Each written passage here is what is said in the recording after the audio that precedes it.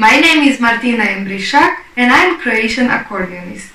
I would like to invite you to come to my concert on 30th of May on True Art TV. I will present to you pieces written by Modest Mussorgsky, pictures at exhibition, and seven new pieces which were written for my project 60 Seconds of Accordion. I will present Fernando Avila, Tango pour Carla, Daniele Lauricella, Planned Obsolescence, which is world premiere piece, Saša Bastalec introduction, Sean Penzo, Waiting for You, Juan Maria Solare, Transmutación de la Bronca, which is world premiere piece also, and very special piece because it was dedicated to all victims of Zagreb earthquake, which happened two months ago.